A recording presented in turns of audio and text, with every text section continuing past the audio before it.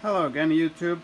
A small video about a nice gadget I bought online for my MCO BMC 300 CNC mill or machining center what the proper term proper term is for the machine but yeah I found this micro DNC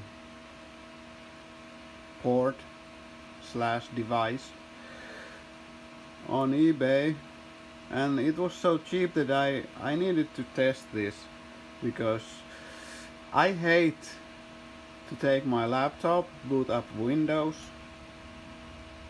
put all the all the cables on the on the 25 pin LPT port or RS232 whatever it's called.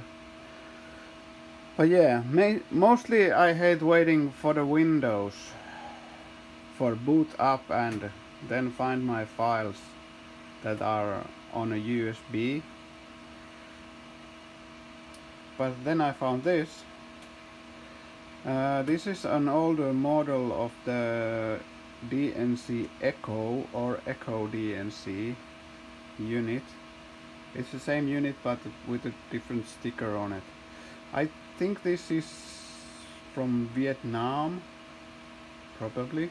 I think the company that makes these are in Vietnam but you can find the DNC Eco on eBay and uh, Amazon probably. But yeah. Anyways uh, you plug it on on your data port and then you take your USB and stick it in. And it'll probably find you a program.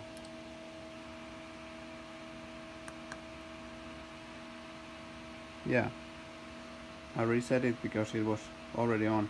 Uh, the program has to start with a number from 1 to 9 in my case it's 1 and the program name. The program name can be any letter or name or whatever you want to put it but it has to start with a number.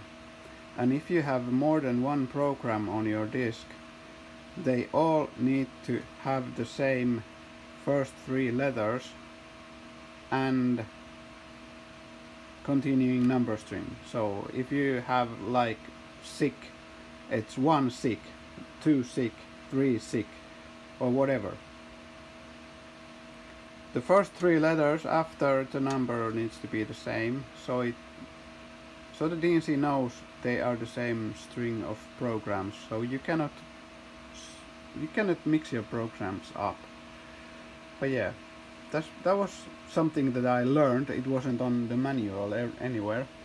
But yeah. Uh, then you need to put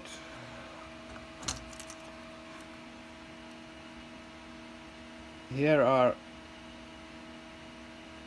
the settings you need to put on this device. But it's pretty straightforward. Once you read the manual you set it up and then you then you set up your machine the same way. Same parameters to your machine so it'll work. But yeah let's go to transfer sticky button. Transfer data and you put the DNC on standby and press start and OK. And there you go it starts to transfer your program. No need to take your computer and plug it in and waiting for the windows. And I can put as large program as I want on the CNC and drip feed it from here it doesn't need to be in the program memory. Now we go programs and there it is. One alalevy it's button plate for one project and I already machined it. It was simple program but I don't write programs on the machine I just use CAM. But yeah it's a nice device and drip feeding works. Very nice. I run some 60 70,000 lines of code through that and it never missed a beat. But yeah if you have any questions put them down below and you all stay safe and healthy and have a nice day. Bye